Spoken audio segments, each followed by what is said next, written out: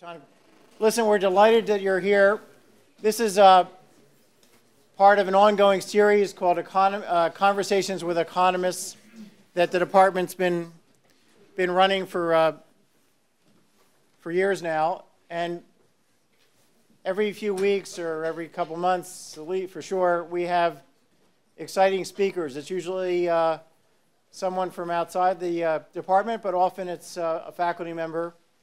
Sometimes it's alumni come to speak. We've had presidents of different countries. President Bolivia has, come speak, uh, to speak. Uh, so we've had just a range of excellent speakers, pe people that write for the financial press. And uh, I want you to just keep an eye on our website and on BU Today where we announce this Conversation with Economists series, and, and please do continue to attend. And next time we have Jeff Sachs, we're going to make sure we get a 500 person auditorium because uh, obviously you're uh, in high demand. The, uh, at this price. At this price. That's right. Good point. All right. I'm not going to. Uh, I don't want to test the market. I'm not going to spend a great deal of time uh, introducing Jeff. He has a uh, fabulous new book out. It's appropriate that we're, we're located on Commonwealth Avenue because the title of the book is Commonwealth. If you're interested, you can buy copies outside after the talk or at the BU bookstore. Uh, the book is really uh, getting at some of the uh, major challenges facing the world in a and explaining these challenges and proposing solutions in a way that only Jeff Sachs can do. He has a, a brilliant career. He's advised uh, many, many countries around the world. He's done uh, brilliant academic work. He knows uh, essentially every single top leader in the world. And on top of all that, he's a terrific guy. I think in large part to his uh, wonderful wife, Sonia. The last thing I need to say is I need to thank Richard and Amy New, who uh, are financing this conversation series. Uh, Amy was a graduate uh, a few years back, and Richard was a graduate many years back, her dad. So uh, thanks again for coming. And uh, again, I'm sorry that not all of you can have seats, but uh, let's all listen to Jeff.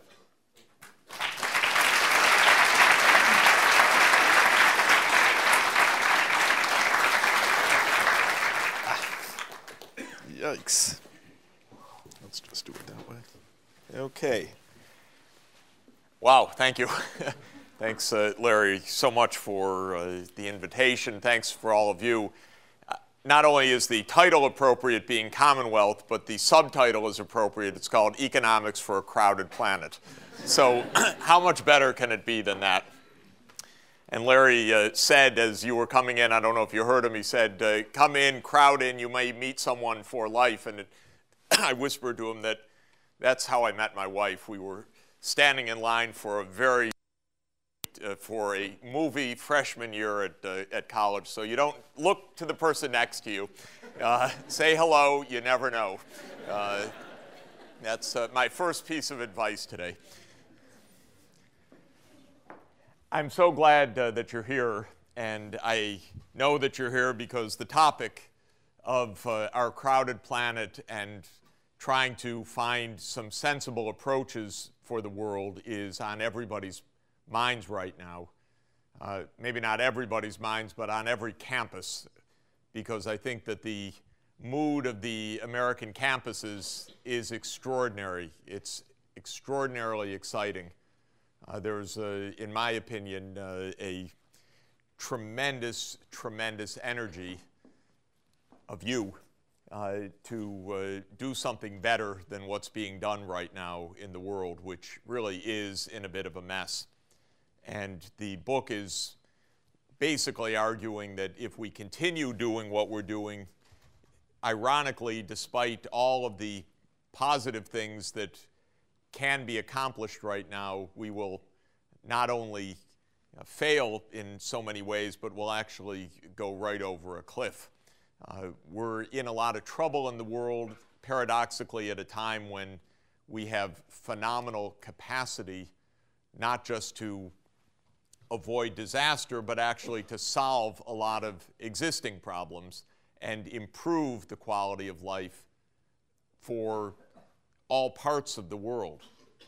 And we're not doing that very well right now. In some ways, normal global processes are making some progress, whether it's market forces or the spread of ideas, uh, is leading to some notable improvements in well being in some major parts of the world.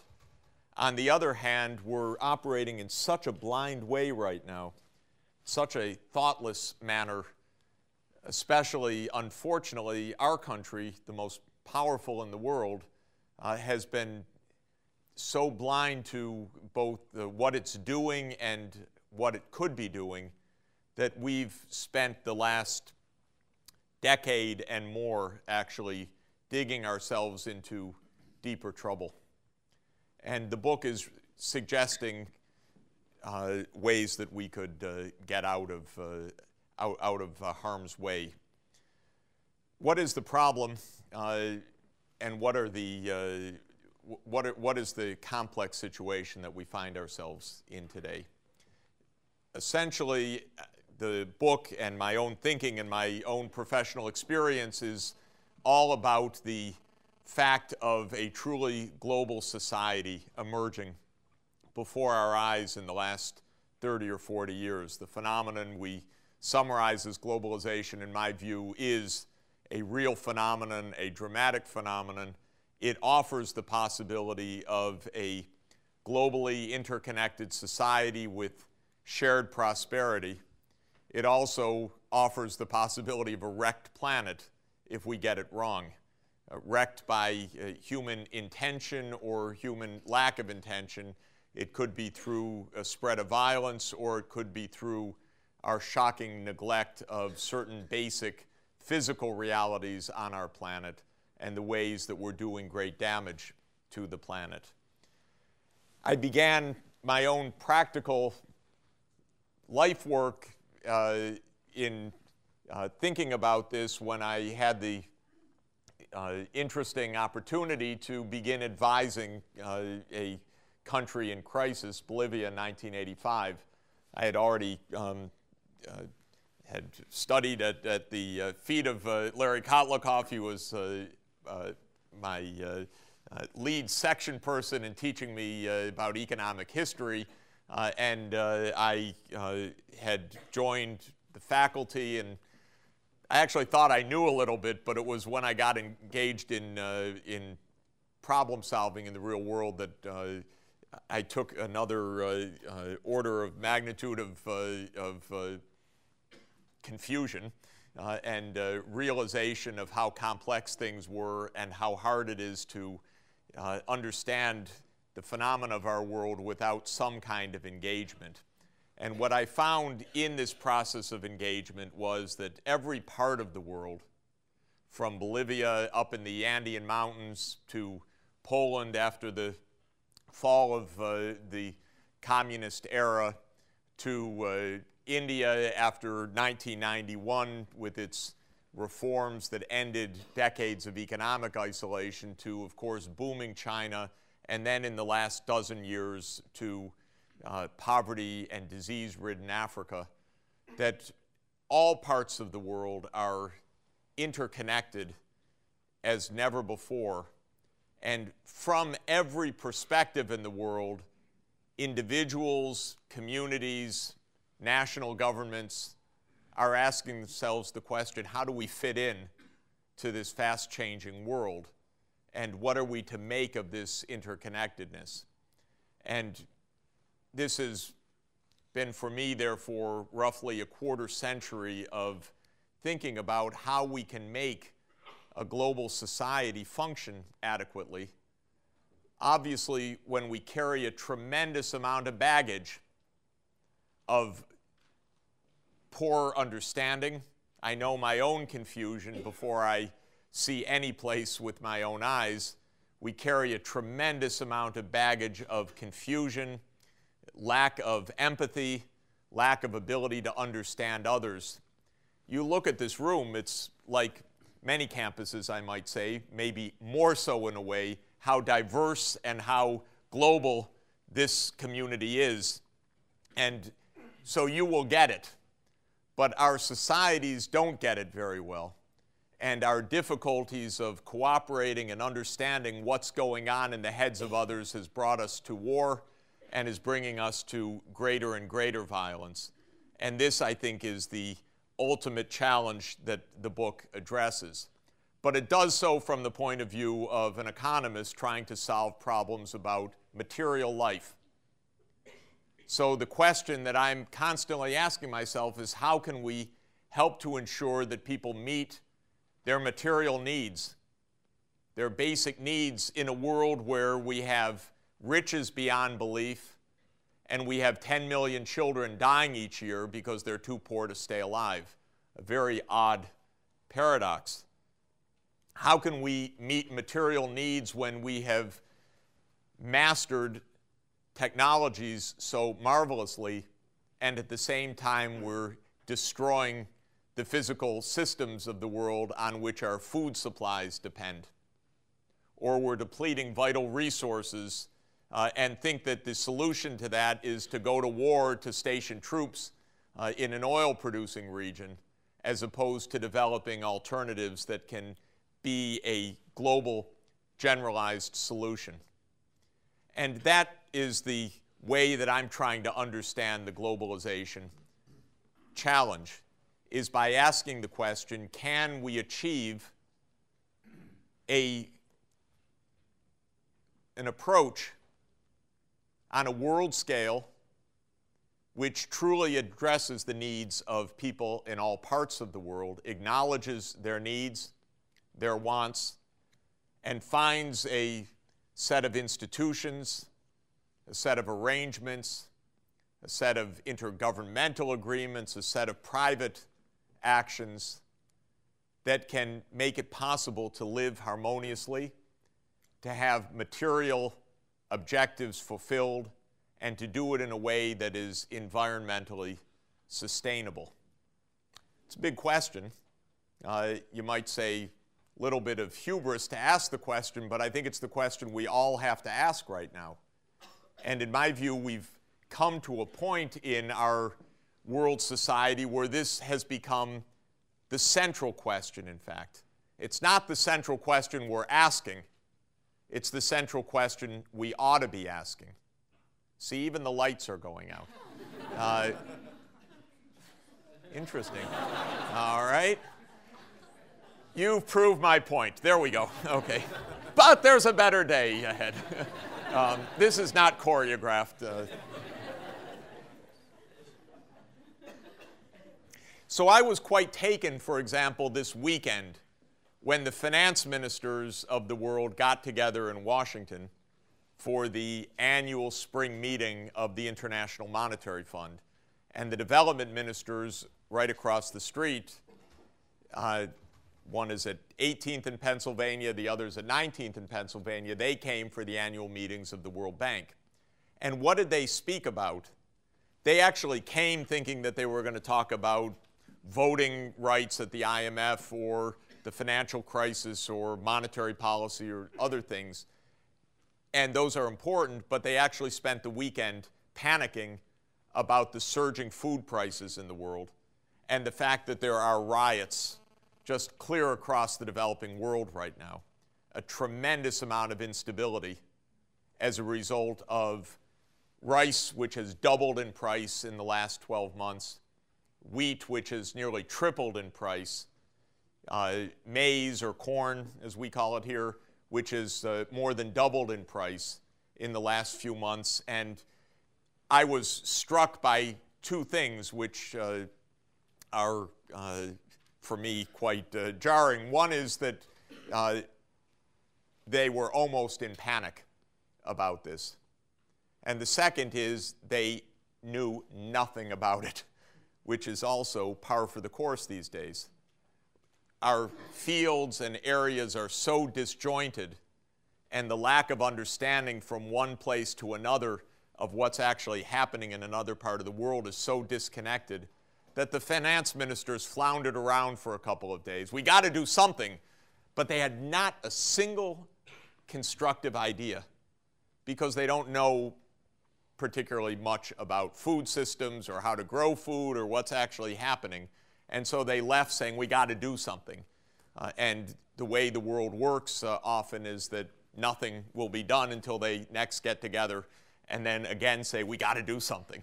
Uh, and so we actually have to do better than that.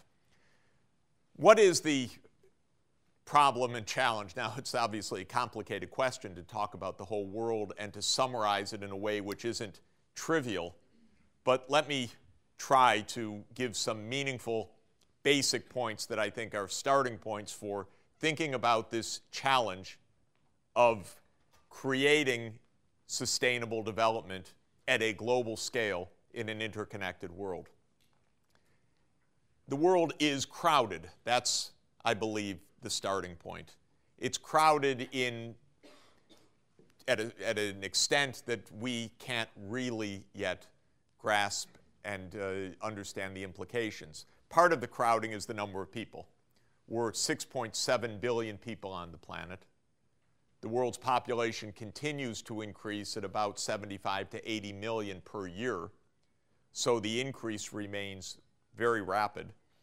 But the 6.7 billion is a lot. We have filled every ecological niche on the planet.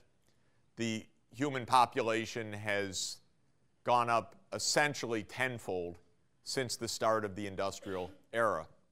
It's a massive increase, and it is combined with a massive increase of the amount of economic output or income, or almost equivalently, use of resources per person on the planet. They're all somewhat distinct concepts, but they're all closely related. If you try to measure how much the output per person has gone up, we use a measurement called the gross national product for a country, or the gross world product if you add across countries. We try to adjust the measurements uh, that countries make so that there's a common base of pricing for the things that are produced or consumed so that they are purchasing power adjusted prices. And when you use the best but highly flawed measures of this, the average income or output per person in the world now is about $10,000 per person. If you look back at the beginning of the industrial age, of course, you can't really make a comparison with now because the way we live, the technologies, everything is different and uh, didn't exist uh, uh, in the year 1800. But if you try to make some very rough calculation, you might say that uh, the income has gone from roughly $500 per person in that kind of metric to about 10,000 now, so maybe a 20-fold increase, combined with roughly a 10-fold increase in the number of people. So the total output of the world has roughly gone up by 200 times since the industrial era began, roughly at the beginning of the 19th century. And my contention is this is the phenomenal fact, the fact of scale change. And we've reached a point where we have to grapple with this directly. This is not a novel observation, but it's one that I'm so struck with uh, in terms of what these magnitudes mean. Of course, in a sense, they mean we're in each other's faces as never before, and it means that we are interconnected as never before, and it means that any two points on the planet have some interrelations now. We're a fully connected system as opposed to just different pieces uh, loosely connected. Places that we think can't have anything to do with us turn out to be of dominant concern suddenly. I often think that if on September 10, 2001, I had been asked what place in the world is least likely to affect us, I might have said, well, it's probably some landlocked region in the, in the middle of the Eurasian landmass, you know, as far away as can be, place like Afghanistan. And then, of course, you realize this becomes the consuming focus of interconnection for the next seven years. And it just shows there is no place that isn't interconnected. And every time someone says, but why should we care?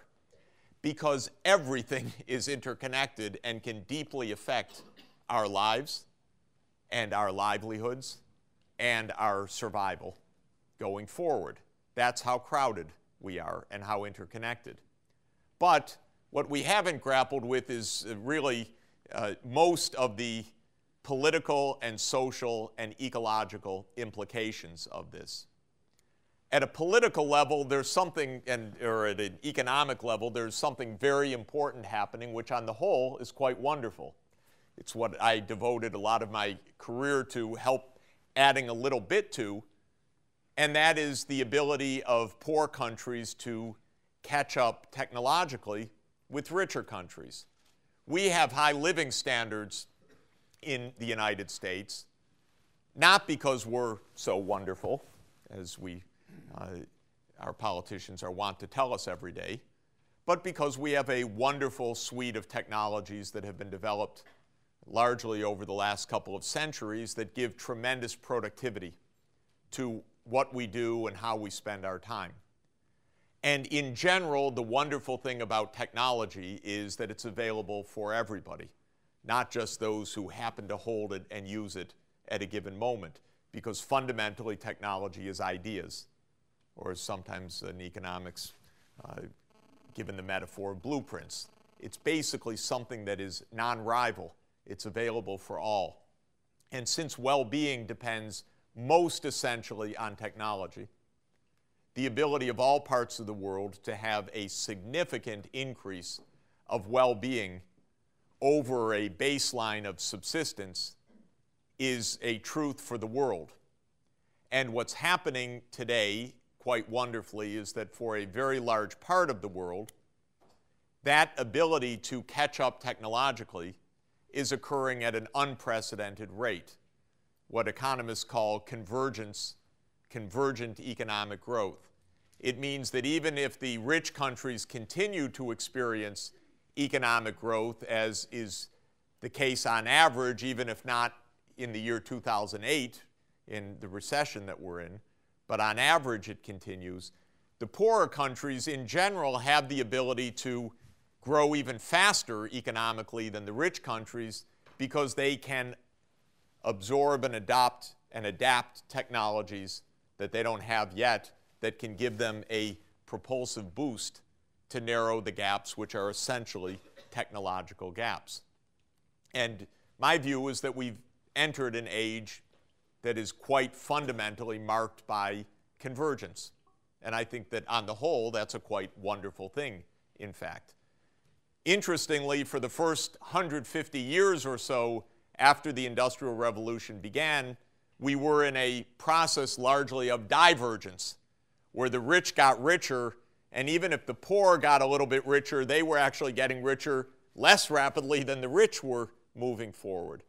And the reasons, I think, were that at the beginning of the industrial era, the ability to make and use and advance technologies was still restricted to a relatively small part of the world, basically the North Atlantic world. And that region just soared ahead of the rest of the world and as the income gaps widened by the middle of the 19th century, Europe decided it would basically go out and conquer the rest of the world because the gaps of power were so great. And the colonial age, for another hundred years, in a way enforced a lot of those gaps. Some historians, such as Niall Ferguson across the river uh, at Harvard, say empire was a great way to advance progress, and I respectfully disagree. I think it was a way actually to stop what otherwise would have been faster convergence because imperial powers were not interested in progress in their colonies. They were interested in making money and keeping political control. And those are quite different things than propelling broad based progress. But after 1950, something very important happened.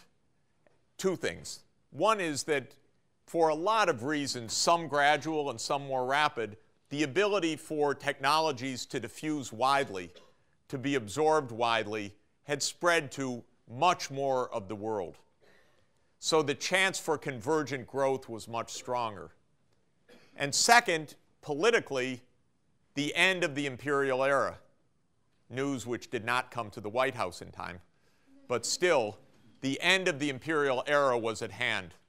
And that made possible a rapid development in a lot of the formerly controlled places in the world in higher education, in mass literacy, in development of industry, and it's set in motion with a tremendous amount of messiness, confusion, very bad missteps, violence, and all the rest. So I'm not telling a neat story, but I'm making it sound neater than it is. It made possible a shift from a period of divergent economic development to convergent economic development. And I take India and China to be the two exemplars of that in our time. China, since the opening of the economy after Mao's death and Deng Xiaoping's coming to power in 1978, has been achieving economic growth of about 10% per year. Not because it's a miracle, but because China's catching up technologically. It's doing a very good job of it. 10% growth is unprecedented especially for a region of 1.3 billion people, 22% of the world's population. But if you grow at 10%, it means you double every seven years. And they've been doing that now for 30 years, which means four doublings. So you've gone two times two times two times two, 16 times roughly the rise of per capita income. India started a little bit later, it's growing a little bit more slowly, but its 1.1 billion people are achieving economic growth now on the order of about 7% per year, which is a doubling time of a decade. And that means now for roughly the last 20 years, you've had a fourfold increase for the 1.1 billion people of India. And of course, this kind of convergent growth is taking place in other regions as well. Brazil, for example, not as fast, but in my view, very importantly, now achieving technological catching up, leadership in some key technological sectors, Embraer in uh, aviation or biofuels and so forth. And this is a sign of that kind of convergence taking hold as well. I'll come back in a moment to the absolutely critical fact that a part of the world, and sub Saharan Africa unfortunately is largely implicated in this, is not part of that dynamic convergence yet. It could be, but there are many reasons why you can get trapped at the bottom and not be part of this, and often need a bit of a help to get the convergence process going. From a global point of view, though, I think the dominant trend is not that the rich are getting richer and the poor are getting poorer, but rather that the rich have been getting richer and the poor have been getting richer even faster, on average. Again, with all due acknowledgement of the fact that averages aren't so good for the people at the bottom. But from a global perspective, this matters because it means first that the world economy has been expanding dramatically. And in recent years, at about 5% per year, which is a doubling time of 14 years. And don't think I remember all these doubling times. Just remember, divide 70 by the growth rate, and that tells you how many years it is to double. So a five year growth rate is 70 divided by 5, or 14 years. And that's a lot of growth for an economy that is now $10,000 per person, 6.7 billion of us. That means roughly a $67 trillion economy on path roughly to double every 15 or 20 years right now because of the continuing gradual progress of countries at the technological frontier which has long been the propulsive force of the U.S. economy for 200 years, with a 1.7% per year average growth per person, pretty much constant as long as we can measure the data. And that is a 40 year doubling time. And that's a gradual growth when you're in the technological lead. Being in the lead is hard. Keeping new inventions, new discoveries, new innovations.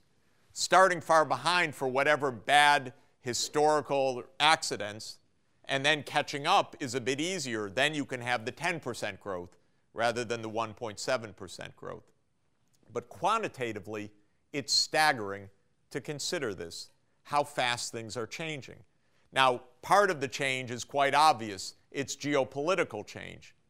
The idea that the United States is the unique world power was passe even before the neoconservatives made such a disaster of that fantasy.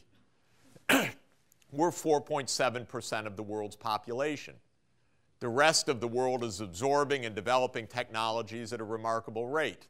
We are not the greatest colossus since Rome. Of course, unlike, or, unlike the Roman Empire, we have the capacity to fully and completely destroy the planet. Our technologies of destruction are a lot greater, but not power, which is a relative proposition. And so the whole idea of the United States as being out there all by itself was already wrong economically years ago. Now I think people are beginning to see how naive it was. Geopolitically, the weight of the world economy is shifting to Asia. This is now a, uh, a, a cliche.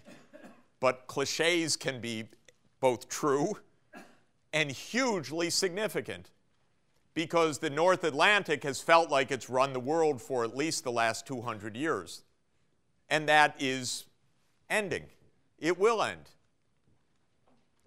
And that's fine, good, because it doesn't mean the collapse of well being in the North Atlantic region.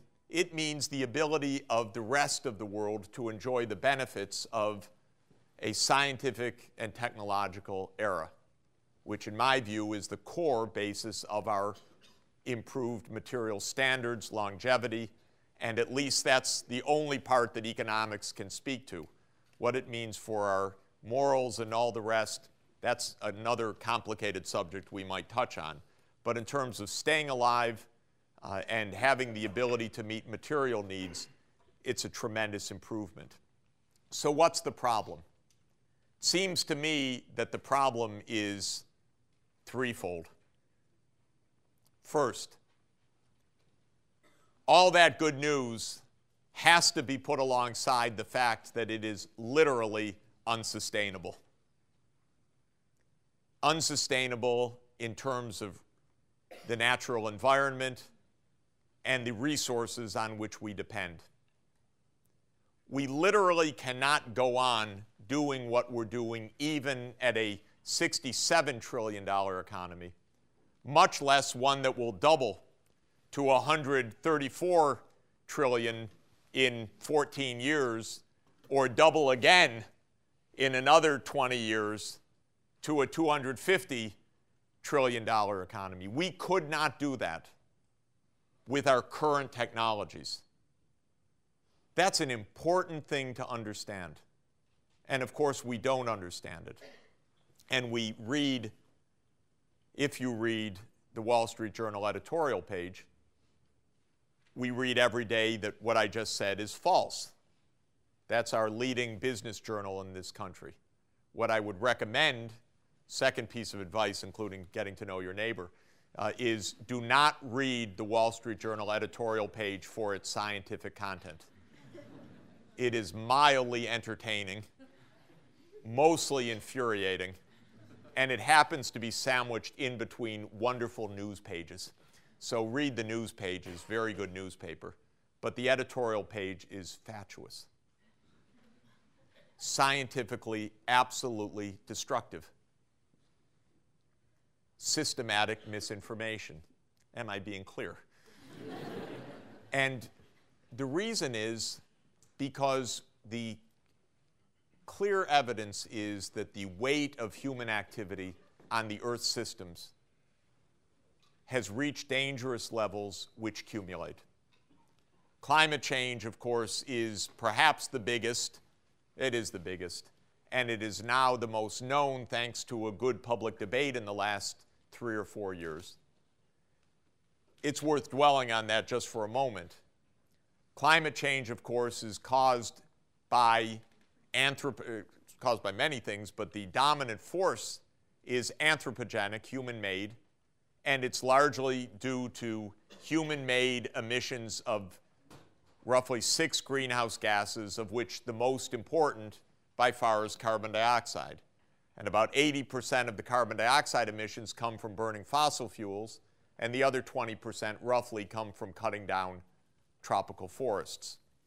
Both of those are not sustainable because the level of our carbon dioxide emissions, thank you, the level of our carbon dioxide emissions right now has reached about 36 tr- uh, billion tons per year. And when you take into account how the carbon cycle works, some of that carbon stays in the atmosphere, some is, uh, is uh, uh absorbed uh, in the terrestrium, some uh, in, in the oceans. You find that about two parts per million increase of carbon dioxide each year now is associated with the anthropogenic emissions. So the carbon concentrations in the atmosphere are rising, and that's the basis of the long term human induced climate change. If you look at what that implies, just keeping on that level of two parts per million, that has taken us from 280 parts per million of carbon dioxide in the atmosphere in the industrial beginning of the industrial era to now 385 parts per million. Climate change already summarized of about 0.7 degrees centigrade. Pure inertial forces of another uh, point, actually about 0.8 or 0.9 degrees centigrade average increase, and another 0.6 or 7 degrees of pure thermal inertia, meaning that if we emitted nothing else, we'd continue to warm by about 0.6 or 7 degrees centigrade, just as the oceans catch up with the warming, because the oceans take longer to warm than the atmosphere and, and, uh, and the land surface. So we've already done quite a bit, but as the carbon concentrations continue to rise, of course, the effects continue to increase dramatically. And if we did two parts per million for the rest of the century, adding another 180 parts per million roughly to the 385, so you'd be at 570 or so, more than twice the pre industrial level.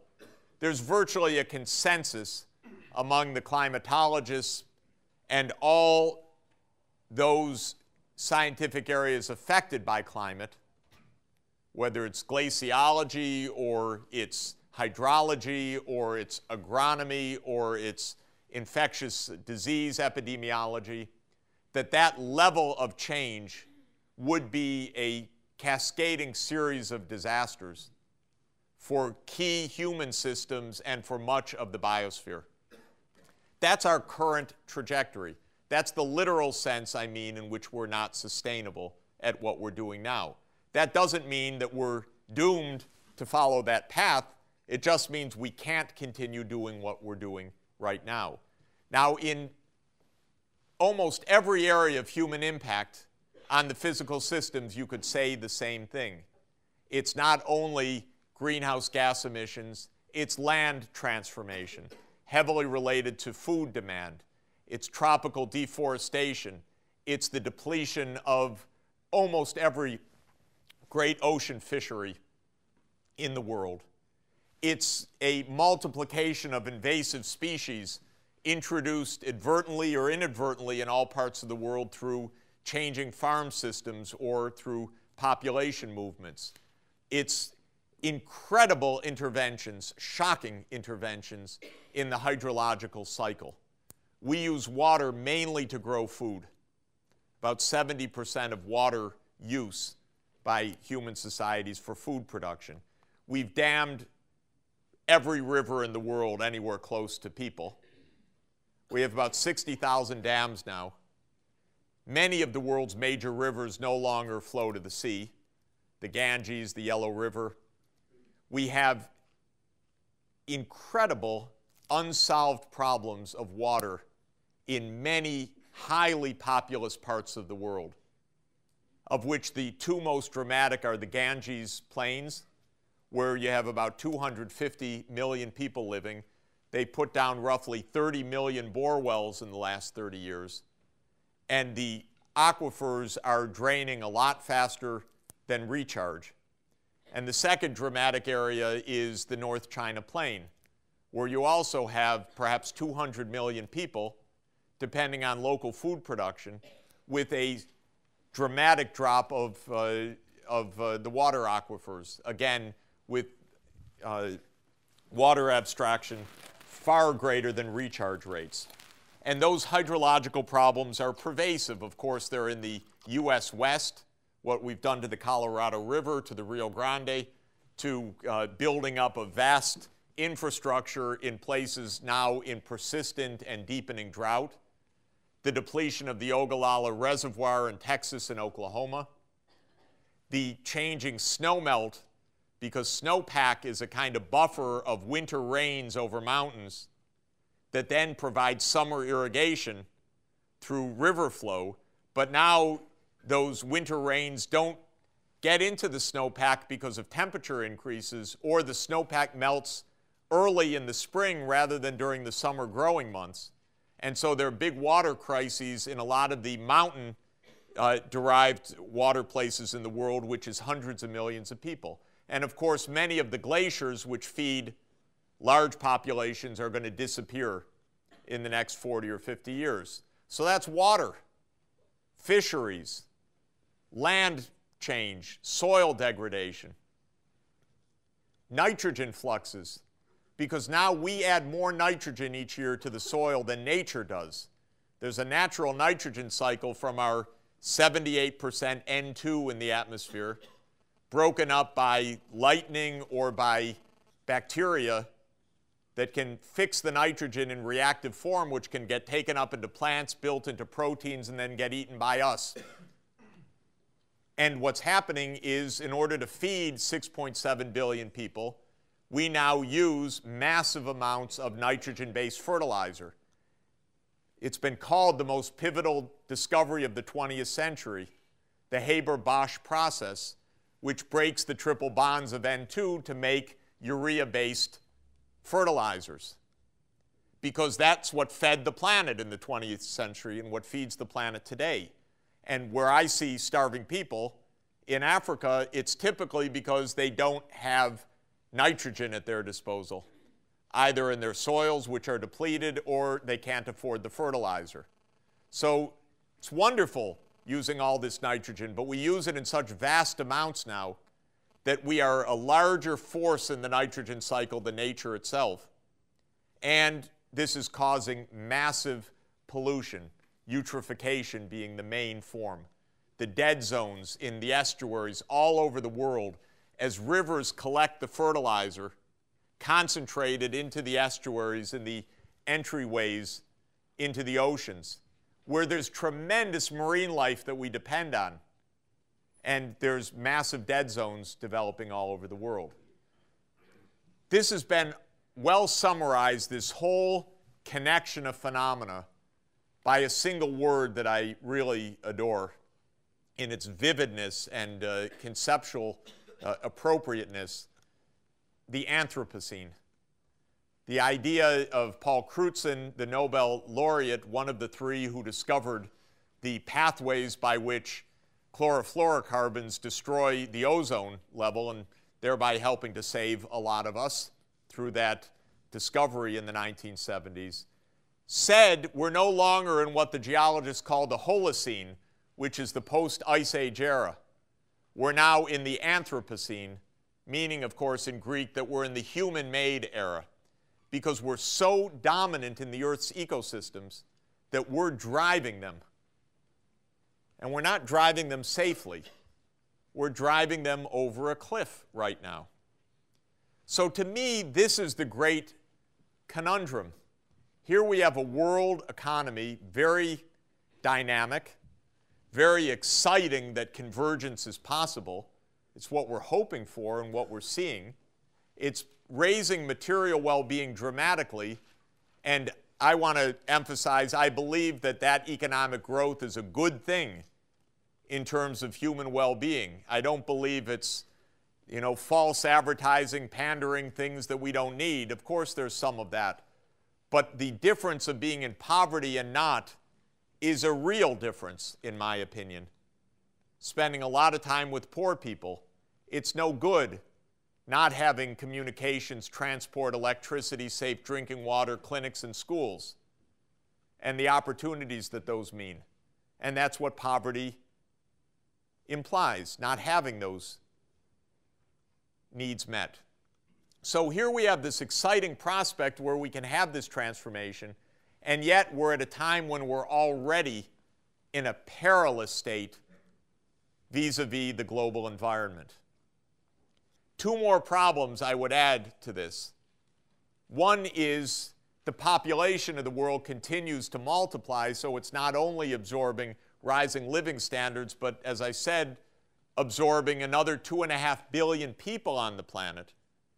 That's a lot of people by the middle of this century if we keep on the trajectory called the medium forecast of the UN Population Division, which says we'll go from 6.7 billion to 9.2 billion by 2050. Almost all of those people are expected to be born in the poorest regions of the world where the environmental stresses and economic agonies are by far the greatest. The paradox of human demography is that rich people have few children and poor people have lots of children. It's understandable. The children don't survive in poor areas. Therefore, parents compensate by having large numbers of children. Children work on farms, exploited in a way by their parents, actually because that runs the farms, but it condemns the children to a next generation of poverty, being six or seven children in an impoverished family. But it may make sense from a parent's calculation. Or there's no family planning available, no clinic, no contraception. Or women are not empowered enough to say that they want to stop having children. So there could be disagreements within the households or girls are not allowed to go to school or empowered to go to school. So at age 12, they're already out of school, and at age 14, they're married and starting to have children. So there are many reasons why poor people have very high fertility rates. Not one of them is good for their economic development, for the sustainability, or for the global security. But that's where we are. So that's a second challenge, in my view. The third is the irony that with all of this capacity for technological catching up, there are places in the world trapped in extreme poverty.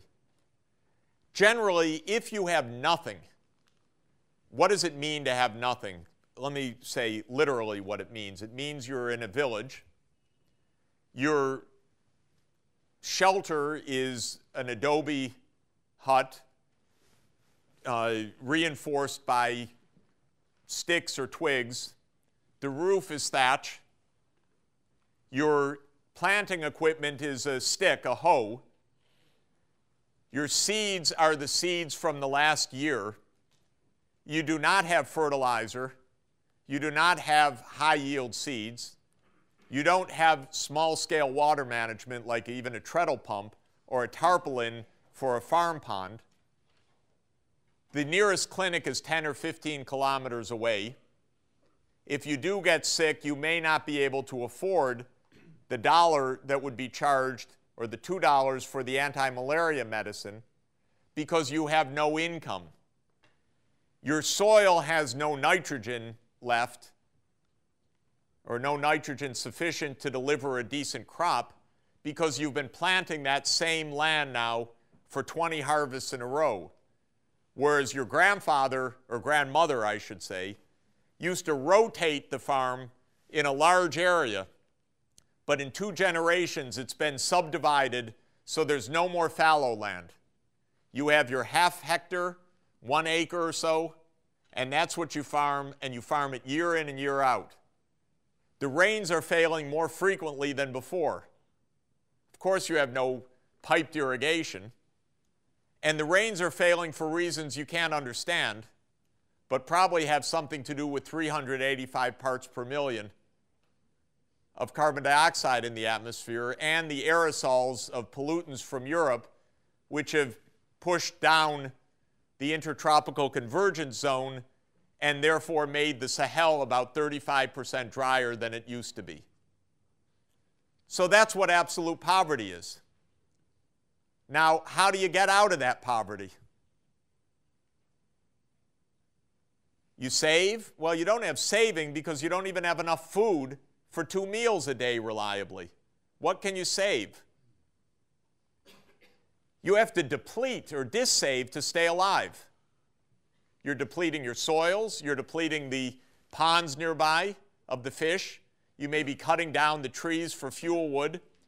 If you've not run out of trees, in which case you may be using some dung for fuel instead of replenishing the dung in the soil for at least a little bit of nutrient depletion, but even the dung in these areas of the animals is nutrient scarce.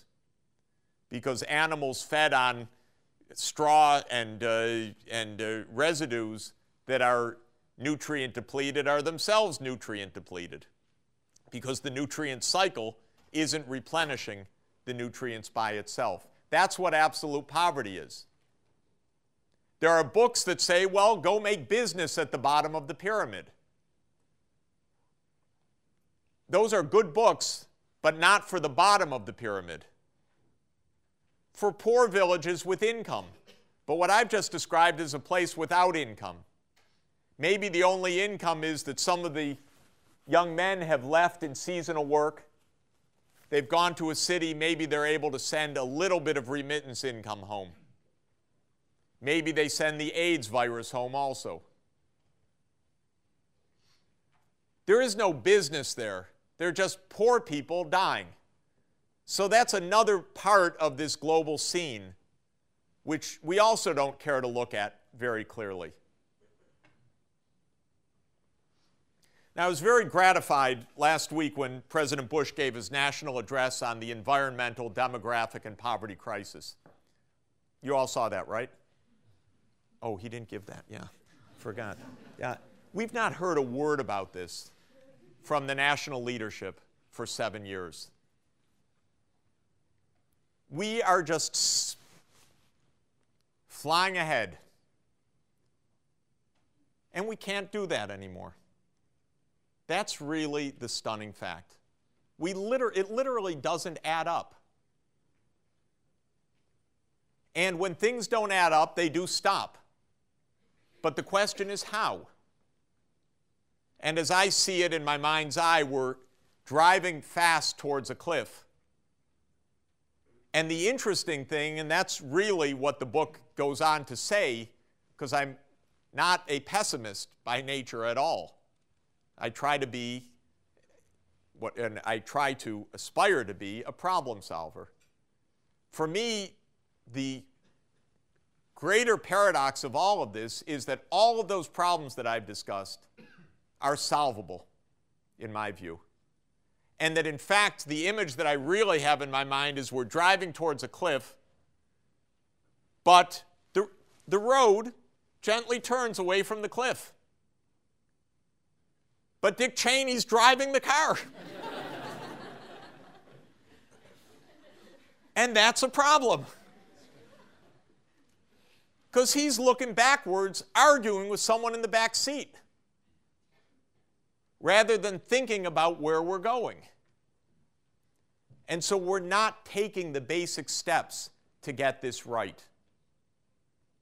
Now, it seems to me that to get this right, we have to understand and unpack each of the problems and then understand what can be done. And I tend to think of this in engineering terms even more than economics terms.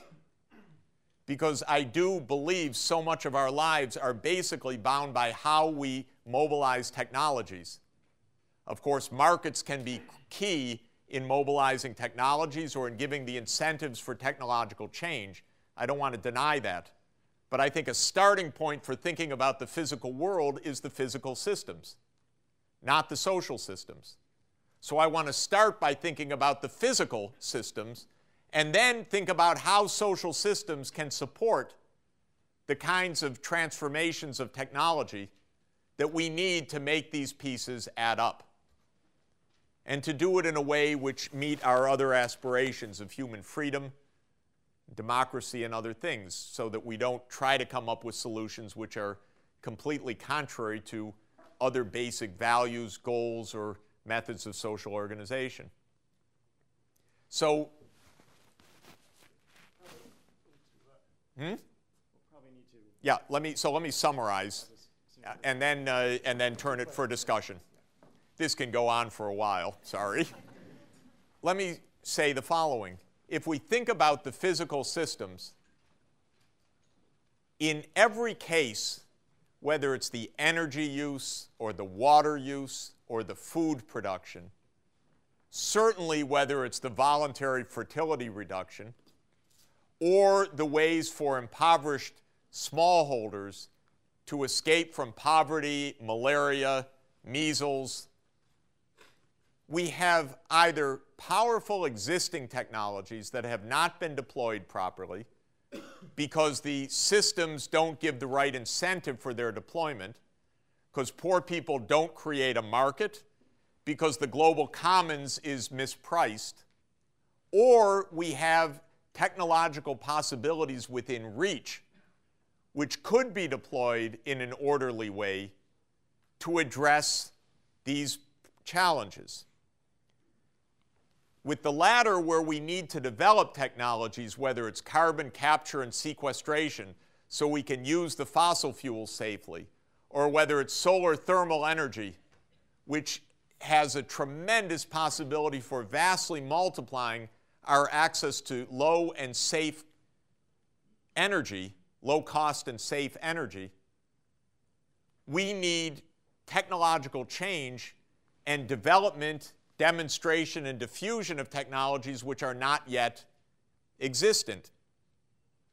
And then comes the question when we understand what could be done in a physical engineering sense, and when we understand why it's not being done right now in an incentive sense, because who's watching the global commons, or who's caring for the poorest of the poor, or who's creating the right kind of incentive structures for new technological development and demonstration, I believe we can then problem solve both at a technical level and at an institutional level so that we can address these key areas. It doesn't mean changing everything in our societies. It means finding ways to have sustainable energy. It means finding ways to produce food productively without ripping down the remaining rainforests or adopting technologies of aquaculture so that we don't destroy the oceans. It involves diffusing proven methods of family planning, contraception, and uh, inducing voluntary reductions of fertility, including having girls enabled to stay in school, so that the population problems can be addressed, and so forth. I'll tell you a simple couple of numbers to illustrate what we're not doing, and then I'll conclude. We are investing $700 billion this year in the military and about 200 billion a year for the Iraq war. And we're only getting steeply negative returns because these problems cannot be solved by war and our energy needs despite Mr. Cheney's idea cannot be secured by or Mr. McCain's idea cannot be secured by stationing troops for 100 years in the Middle East. Can't work, won't work. Not enough energy, not enough political power, no legitimacy. It's a non starter, or it should have been a non starter. It's a starter that's got to stop now. On the other side, how much are we investing in sustainable energy? Well, in 2006, the most recent year of data, we spent $3 billion on all our federal research and development of sustainable energy. We spent less than $300 million on renewable energies. About $70, billion, $70 million, sorry, that's one hour of Pentagon spending, on carbon capture and sequestration. So we're not investing at all in these things. Total, we spent $5 billion in aid to Africa, much of which was spent here on us, on consultants, rather than on real help on the ground. Roughly two and a half days of Pentagon spending. We spent $200 million roughly on helping to fight malaria, and that is about three hours of Pentagon spending. You get the idea. Every sleeping site in Africa could be protected for five years with an anti malaria bed net for less than one day's Pentagon spending. So we're not thinking and we're not finding approaches to actually solve these problems. Do I have five more minutes? No. Okay. Absolutely, you do. The, uh, the only question is, thing is, if somebody has to make a class, because we did schedule this for a certain time, don't feel so bad about getting up and going to your class. I don't want to. We'll take your names on the way out, because you obviously don't On the other care hand- about the planet. If it's not an economics class, you really should stay. Go ahead, Jeff.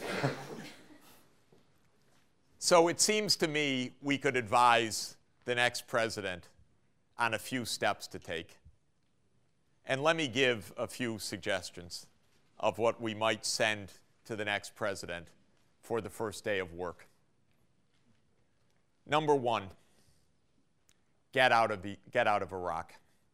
End the war immediately. Two,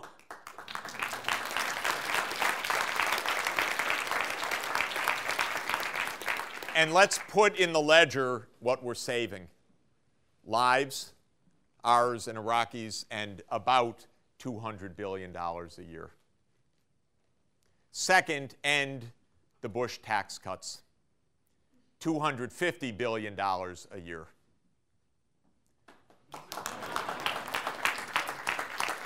Three, let's start using a little of it. Let's raise from 3 to 30 billion dollars a year the funding for sustainable technologies. I'd like to recommend a national institute of sustainable technologies like a National Institute of Health or National Institutes of Health. Because we have a lot of work to do. We need to promote the basic sciences and the links to industry and academia. And there's a very powerful role for the public sector to be providing a lot of the core financing of these steps. And you can see that the price is small. Four, I would immediately send an envoy on climate change to all the main capitals of the world, to Beijing, to Delhi, to the EC headquarters in Brussels, to Moscow, Tokyo, Ottawa, Canberra, to say the United States is back at the negotiating table and at least this new president recognizes what the last one didn't, which is that there was a president named George Bush Sr. who signed the UN Framework Convention on Climate Change. So it's the United States law of the land to be committed to stabilizing greenhouse gases. That's what we agreed to do in 1992 but we have not acted on the law of the land, even though we're treaty bound. And the next president can say we're back at the table, and by the end of 2009, we should be signing an agreement in Copenhagen when the conference of the parties of this framework convention meet. to get to an agreement post Kyoto. It's going to be a lot of work in 2009, but it's crucial that we make the bridge from Kyoto. Next, I would say that the president should assert that not only in the area of the global commons of the atmosphere and climate, but also in the global commons of biodiversity and the sea, that we will become parties to international law, meaning signing the Convention on Biological Diversity, which the United States has never ratified, and signing the UN Convention on the Law of the Sea, which again the United States has never ratified. We stand outside of international law, and we need to be part of it. And moreover, I would recommend to the President, I'm sure the next President will know what this one did not, which is that international treaties are national law under the Constitution. And that also means the Geneva Conventions. So we should.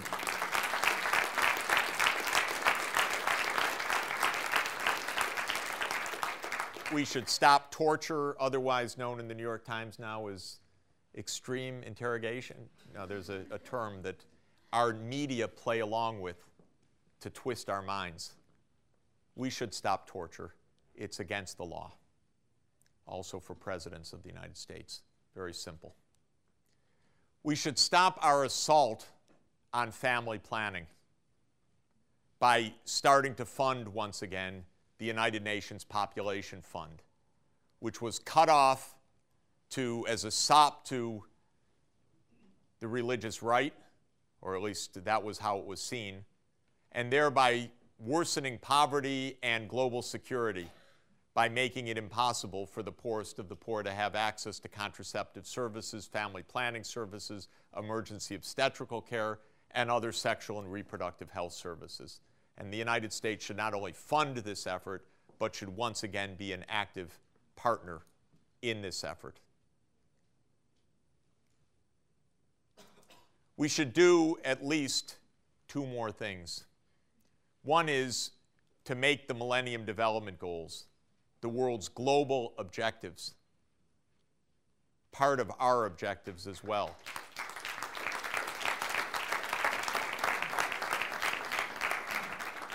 Here's the odd thing. As far as I know, President Bush has said the words Millennium Development Goals in sequence once in seven years. I, I was there, September 14, 2005. He said it at the United Nations, never before, and as far as I know, never thereafter. And yet, these are the world's leading shared committed objectives to fight poverty, disease, and hunger. And finally, I think what we need to do urgently is give our government eyesight again because we're flying blind, we're driving blind, and we don't even have the capacity institutionally in Washington to understand what's happening. You see, our aid agency was gutted and politicized years ago, USAID. It hardly exists as a thinking institution. The Defense Department has taken over a large part of what's called our development aid. That is money through Halliburton and other wondrous development projects in Iraq. We've deprofessionalized the government so that there's not the capacity to understand climate change, water stress, hunger abroad, agronomic possibilities, exactly the things that we're hitting against today. I compare us a little bit to one of our intest- one intestinal parasite, which, whose whole life cycle essentially after the larva stage is clinging to the inside gut of the intestine and sucking out blood. And it's dark in the intestine. So over time, this worm has actually evolved to lose its eyes. And that's how I think of Washington somehow. Uh, that, uh, I don't know, they're sucking out something uh, from the, the side of the gut and they don't see anymore. So, what we need is a cabinet level department for international sustainable development that brings together that brings together professionals in agronomy, hydrology, in climatology, even in economics, I think would be a good idea. And in, the, in other areas of vital concern for achieving sustainability on the planet. Now, I do want to close because I really think it important. Uh, I know you think it important that I close also. but I want to close with a few words, uh, not of mine, but of uh, President John F. Kennedy. Because we've had a little debate in this country in the last few months whether words matter. And I think words matter a lot. And I think uh, words can convey uh, meaning of life saving importance. And I know from my favorite speech of a modern American president, which is John F. Kennedy's speech on peace in uh, American University commencement in June 1963, that the words mattered a lot because they were so beautiful and so powerful that when Nikita Khrushchev heard them in the Soviet Union, he immediately called the U.S. envoy and said, I want to sign a treaty with President Kennedy. He said those are the finest words uttered by an American president in the last uh, decades since FDR, is what Khrushchev said. And what came out of that speech was the uh, partial nuclear test ban treaty. But the importance of the speech was President Kennedy telling the American people don't believe it's impossible to do great things, including making peace. And don't think that we are inevitably doomed to disaster. And don't think that our adversaries are irrevocably and inevitably committed to our destruction. We have common interests on the planet. And since what we need more than anything else is a sense of our common interests and working together, I find that these remarks do we have a book? Yeah. yeah. Uh, these remarks resonate across two generations and are extraordinarily important and powerful for us to understand. So let me just close by reading to you an excerpt from this marvelous speech, which, by the way, is uh, online and is magnificent to listen to. Too many of us think that peace is impossible. Too many think it unreal but that is a dangerous defeatist belief. It leads to the conclusion that war is inevitable, that mankind is doomed, that we are gripped by forces we cannot control. We need not accept that view. Our problems are man made, therefore, they can be solved by man. And man can be as big as he wants. No problem of human destiny is beyond human control. Man's reason and spirit have often solved the seemingly impossible, and we believe they can do it again. I am not referring to the absolute infinite concept of universal peace and goodwill, of which some fantasies and fanatics dream. I do not deny the value of hopes and dreams, but we merely invite discouragement and incredulity by making that our only and immediate goal. Let us focus instead on a more practical, more attainable peace based not on a revolution of human nature, but on an evolution of human institutions, on a series of concrete actions and effective agreements which are in the interest of all concerned. There is no single simple key to this peace, no grand or magic formula to be adopted by one or two powers. Genuine peace must be the product of many nations, the sum of many acts.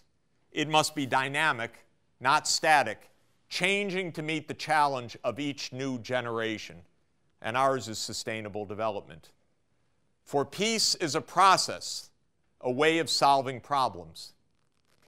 And then President Kennedy said something of incredible beauty and I think summing this message.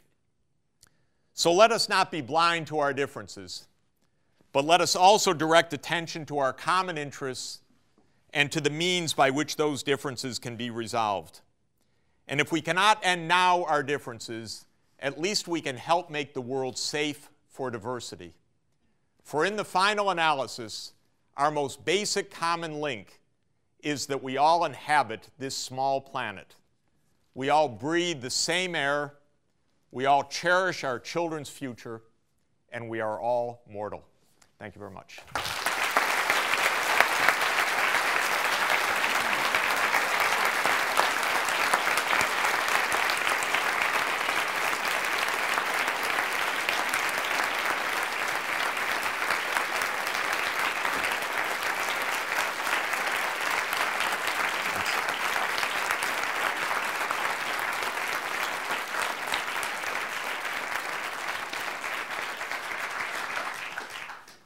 About, thank you so much uh, for coming and uh, for being so patient. Patient. and for, uh, for sharing Jeff's, Jeff's vision, as you obviously do. For those of you who would like to stay for just a few minutes to ask some questions, we have, I have to get Jeff over to another engagement, so we have about eight minutes to do that. So if we could uh, have a couple questions. Jeff, go ahead. Please. Uh, just uh, speak up. Yeah. You have to stand up and speak up. Um, how exactly do you feel about the like pros and cons of carbon sequestration? Yeah. Like, so the question is, how do I feel about the pros and cons of carbon sequestration? I feel that we better find out whether it can work. And what that means is that we're at a stage where we have good blueprints, a lot of engineering, but not one single demonstration project. And yet, China is building, as we're often told, the equivalent of at least one coal fired power plant every week without capturing and sequestering its carbon. So, if this technology works, it's transformative. If it doesn't work, we're in a lot of trouble, frankly. So, we need to find out with technologies like that whether they are feasible, how costly, how safe, uh, what kind of public acceptability. There are a lot of geological and other questions. My uh, colleagues in engineering are very optimistic about this technology and in geology, but they also want to see it tested. So, one of the things I would like that climate on, envoy to say on his uh, or her first trip around the world is that we're ready to help fund out of our new National Institutes of Sustainable Technology we're ready to help fund demonstration plants in India and China to, and in the US to see whether this technology is feasible. In general, with big technologies, let's not rule out whole classes of technologies. Same with agrobiotechnology. Don't rule them out. We have to be specific because these are powerful instruments that can do a lot of good if they can be proven to be effective for specific tasks. Please. Um, so you mentioned that the problem in Africa, and as it is in other developing worlds, is with um, poor soil content, and I'm wondering if that can be fixed uh, either with uh, regional fertilizer production and or importing with USAID sterilized soil that you would then add bone meal and kelp meal and other uh, organic fertilizing additives. So the the uh, the the problems uh, in general, most fertilizers, I mean, most soils need, uh, uh, all soils need uh, nitrogen replenishment regularly, and many need other kinds of nutrients to be replenished as well. In the tropical oxisols, which is the soil type in most of Africa, the organic matter is very rapidly weathered, easily depleted, easily leached, and not uh, naturally uh, regenerated uh, except by very, very long fallow periods, which are no longer feasible. So nitrogen is urgently needed. All of the agronomy that I know suggests you need a mix of organic and inorganic nitrogens to replenish. There's nothing wrong with the soil structure per se. You don't have to bring in new soils. The soil can be adequate for planting if the nutrients are replenished and other needs are met. And one of the things we've done in the last couple of years is work with the government of Malawi to create a voucher scheme so that every impoverished household gets one bag of nitrogen based fertilizer and one bag of high yield seeds. That's conventionally uh, bred seeds, but hybrid maize seeds. And on that basis, in the last three harvests in a row now, Malawi has more than doubled its food production compared to the baseline, compared to the uh, crisis years in the past. And th- this shows, this is what is sometimes called the Green Revolution. And this could happen across Africa at very low cost. It turns out it would be something like $100 uh, a, uh, a household to do this at the start, which is maybe $20 per capita. And the total costs are uh, at least uh, roughly a tenth of what it would cost to send food aid, for example, which admittedly we don't send. We just leave people to go extremely hungry. And there isn't food aid anymore because we've put it in our gas tank. Uh, we're putting one third of our corn production this year into the gas tank, which is one of the factors driving up the food prices to begin with. So, what I'm recommending is a practical plan to help poor people get the basic inputs they need so they can grow more of a crop, become commercial farmers, start microfinance and micro saving, and thereby be able to take this on on their own after a few years. It's just to get it started. Please. Along those lines, how do you feel about um, the sustainability and effectiveness of social cash transfers as a means of? So the, the question is how I feel about social cash transfers like the Bolsa Familia in Brazil or like Progresa in Mexico. Those are, I think, effective programs for countries at three or four or five thousand dollars per capita. Because what they say is if you take your child to a clinic, then you can get the bonus. But in the places I'm talking about, there's no clinic. So, in order to get started, it's not a matter of giving money, it's a matter of building basic infrastructure. And so, this cash transfer program shouldn't be confused. It works in certain settings, but it doesn't work for the poorest of the poor. What's needed there is actual investment, basic infrastructure, basic agriculture, clinics, schools, health services. And then incomes can rise, and then this kind of, it can, the help can be converted in fact, or even self financed to this kind of cash transfer. But it's not, Brazil is at, uh, oh, at this point, five, six thousand dollars per capita, uh, probably. Uh, and uh, in Malawi, it's $200 per capita, not at that purchasing adjusted rate, but at the market exchange rates. And that shows why it's a, a, very different setting. Maybe one more. One more quick question. In the back, yeah. Please, yeah. Thank you. Um, I was really. Okay, two. For, yeah, that's okay. Go on. Um, I was really inspired by your list of presidential recommendations, but I also wonder if you could give us a three-part to list for those of us who are in this room, um, who won't get to the White House soon, um, but are eager and mobilized and passionate. Well, first, help someone get to the White House that's going to do the right thing. Very important for the campuses. I think the campuses can elect the next president.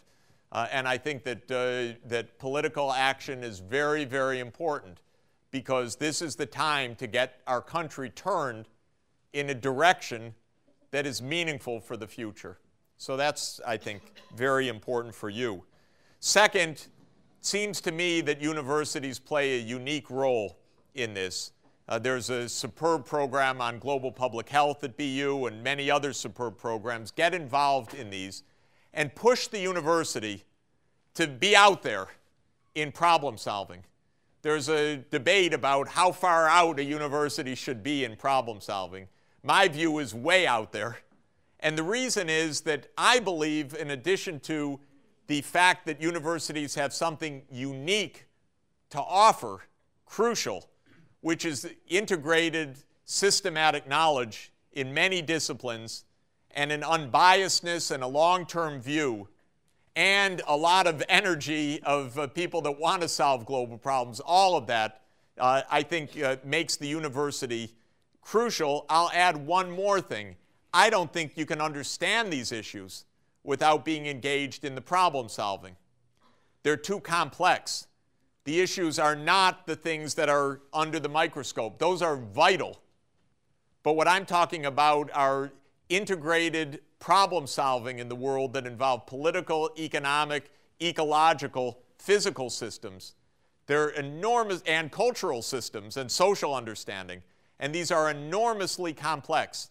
We can't even teach them properly without being there engaged. And so, purely from a point of view of research, because I, I used to be told, not so much anymore, but well, that's all fine and good, Jeff. That's nice, but you know, do please come back and do your research. And this is my research because it's extremely crucial for clarity of understanding the problems to say what would it take to solve them and then oh yes i didn't realize that strand is really decisive so for good classroom instruction good research and because of the unique capacity of universities to add real value to problem solving i want the universities to be way out there we have also programs, uh, we call it the Millennium Villages program, where we're learning a phenomenal amount, working in villages around the world now, mainly in Africa. And uh, I very much welcome volunteers, people that are interested, and so forth. And my email is sachs at columbia.edu.